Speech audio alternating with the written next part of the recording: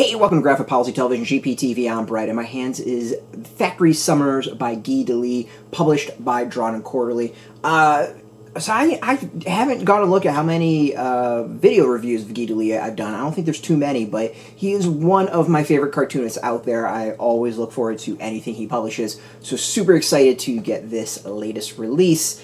Um, so he's a really fascinating uh, cartoonist in that he his material is really just kind of reflections and his uh, observations throughout life. Uh, each is a story of that he kind of experienced himself, or he did experience himself. Uh, he's done books on parenting, uh, his times in Pyongyang working in animation, uh, trip to Jer- Jerusalem, I think was one of them. Uh, and this one's about his working in a factory in the summers while he finished off school. And it's it's fascinating. I mean, it's one of those that you kind of get to the end and you're like, what was the point of it? Uh, you know, it, it, it's not. You know, the, the observations are, are interesting and all that, but this isn't one that really has like a story arc. It's just summer after summer of his working in this factory and his experiences and kind of his observations working in it and, and that's it. It's uh you know there's nothing i would say is super complicated. There's nothing shocking in it um but it's just this study and not quite monotony but just the everyday work these people do.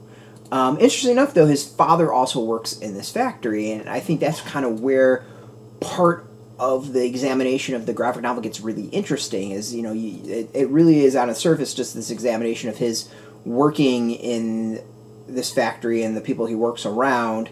Uh, but then his father as well like he though they work in the same place um, and at times the same shift they're still worlds apart uh, his father divorced his mother at some point uh, they were those parents separated i don't know if he actually says divorce but they were separated at some point um, assuming divorce and his father um, I don't know, it became a hermit isn't quite the right way of putting it, but his father became slightly detached.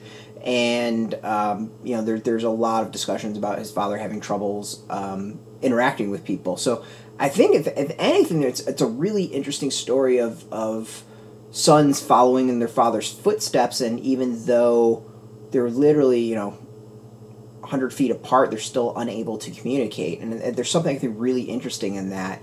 Um, that the, these individuals that Guy has so little in common with, other than the work they're doing, um, he is able to interact and um, you know have relationships more with them than his own father. And I, I, think that's part of the point of it, but I'm not quite sure. Uh, but if nothing else, it's a really interesting graphic novel about working in a paper mill. Um, lots of just information of how paper is made and um, the work that goes into it, and it's just it's it's really interesting. Uh, you know, as, as usual, uh, Delisle makes what I'll call like boring subjects really really fascinating. Um, he just has a, a, a, there's a brilliance in his observation, um, and he's able to take simple things and create a narrative out of them um, and a really interesting narrative on top of it. Like you know it's it's just one of those like he could probably do an entire graphic novel of someone like picking in oranges out of display at a supermarket. Like that's just the way he works and where his talent lies. Um, there's just there's something about how he how he frames things how he spins it how he brings the narrative and, and, and all of it has just like a sly humor about it it's just it's really amazing work um, his style is, I mean, his style is a style. Like I, I can't think of anyone that's even close to it. Uh, it's very distinctive. You know, I can look at something and be like, "Yep, that's that's Guy Delisle," uh, and you know, it's it's clearly it's clearly him. Um, there's a lot of there's a lot more detail I think in this than maybe some of his other books, which is really interesting. Um, and it's you know of course black and white but a little bit of that yellowish orange as well. Where we go learn about how we how paper gets moved. Uh, so overall, like it's just it's a fascinating, fascinating read. As I said, like I I've been super pumped ever since that this was announced. Um, I think I've had it on order for for months at this point because I've been so excited about it. and um, yeah, it's just it, it's it's great. I mean, it's another really fascinating read from a fascinating creator. So, uh, out now in comic shops and bookstores, you can go get it. Uh, go support your local comic shop. We got a link beneath this video. Put in your zip code or tell the shops near you. No shop, no problem. We have some affiliate links. There are affiliate links, so we get a small percentage. By doing that, helps support our site. So, thank you. Uh, and just watching our videos, you support us. So thank you for that. I really appreciate that. If you're into graphic novels, if you're into comics in general, check us out every single day at graphicpolicy.com. We're on Twitter, Facebook, YouTube, Tumblr, all at Graphic Policy, keeping it nice and consistent. Until next time, keep reading those comics and keep it geeky.